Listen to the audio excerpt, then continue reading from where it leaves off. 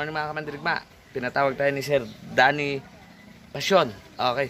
Tayo po ang gusto niya magpintura ng gate niya. Kasi gusto niya parang sasakyan, hansal ang gagamitin natin yan. Uh, pasok tayo mga kamandirigma sa bahay ni Sir Danny Pasyon. Yan. Kasama lang natin yung isang skill natin. At kasi tayo pipintin. Ito. Itong main gate nila. Okay. Mga kamandirigma. Update ko kayo kung paano magmasilya. Ngayon, nagbasilya ako doon sa gilid. Pero gusto ko pakita sa inyo paano magbasilya. Yan. Yan mga kamandirigma. Yung mga manpower natin na sa trabaho, tapati tayo na leadman ay nagtatrabaho rin. Update ko kayo mamaya kung paano. Tuturo ko sa inyo mga kamandirigma. Okay na? Okay mga kamandirigma. What's up, what's up ulit sa inyo. Ah, ngayon, update ko sa inyo kung paano magbasilya gamit ang paleta. Okay, ganito lang kamandirigma. Ngayon, konti lang ang pinakagudan natin. Itong mga joinings lang para para gumanda. Kung di pa kayo sanay mga kamandirigma, ganyan lang. Konti lang siya, konti lang. Yan. Tapos hardiner. Ang tawag dito hardiner. Eh, brand, ang brand na ginamit natin is Time Out. Ang masilya. Okay mga kamandirigma. Ganito lang kamandirigma. Gamit ang isang one. Ganyan lang ang mixture ng kwan, ng kamandirigma. Ngayon ang style na ito, paghagod na ito, 1, 2, 3, hagod, baba. 1, 2, 3, hagod, baba. O, ganyan lang kapandirigma. Yan. Pag mas, pang master lang po yung ganito. Yan. Dapat haluin nyo po na mabuti mga kamandirigma. Yan po. Ingatan nyo rin po kasi matalim po ang paleta. Nung araw po, sugat-sugat din ang kamay ko. Within 1 minute po, tuyo ang masilya nyo. Pag maganda ang templa.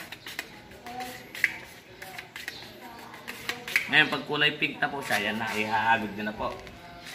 Sampo, agod. hmm, tapos na tayo dyan dito sa harap. Ay, dito. Tignan nyo po ito mga kamandirigma. Sa gilid. Uh, ganyan lang po, kamandirigma. Tignan nyo. Step by step.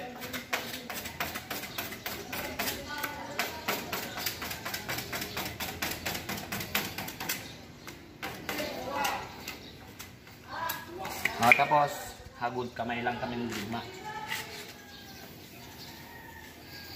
Ah, okay. Ganun lang siya kamandirigma. Tignan nyo lang kung paano ha.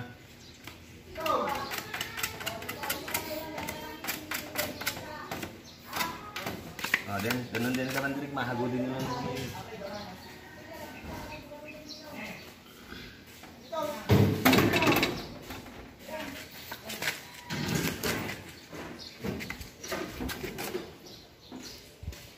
Okay, mamaya kamandirigma. Tuturo ko sa inyo mamaya kung paano mag magwa na mag-primer, magpintura at magtapot. Okay, thank you mga kamandirigma.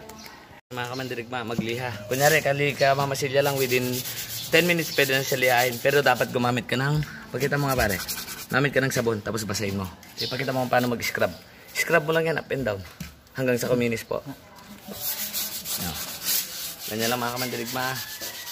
Yan. Okay, update ko kayo mamaya. Mga kamandirigma, pipintura na tayo. Ito, magtuturo pintura.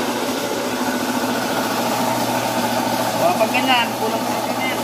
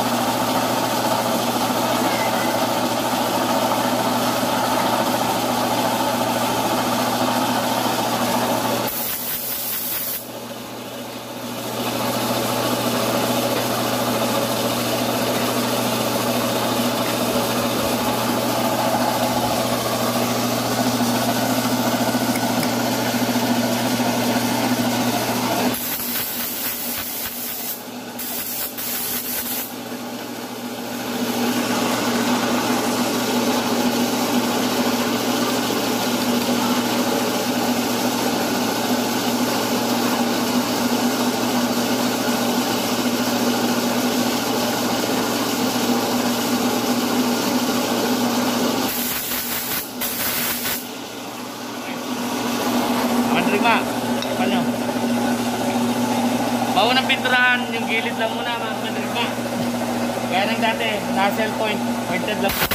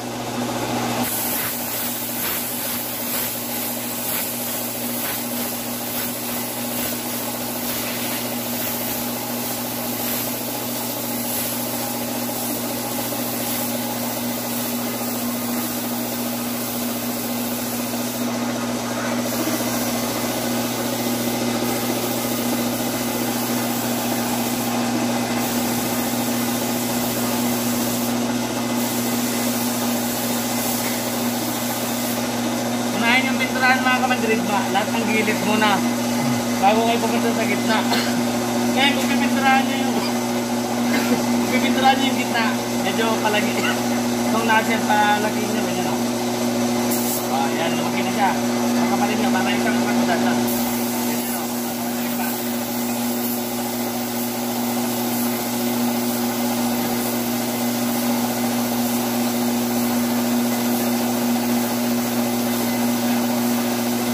Ah, lang kadali mag-paint. Update ko kayo mamaya ka mandirigma kung magtatapos na. Okay, tapos na tayo mga kamandirigma sa sa gate ni Sir Danny Pasyon. Shoutout po. Siya po lang naman po nagtiwala sa atin sa gate. Ayan po, okay po ang gawa natin. Maraming maraming salamat mga kamandirigma. Sir Danny Pasyon, th- thank you sir. Thank you, thank you. Okay po. Okay. Ito lang po yung finished product natin mga kamandirigma. Ayan, shoutout po ah. Ayan. Acrylic hansal po yan mga kaibig, mga kamandirigma. Ayan. Okay na po siya. Okay.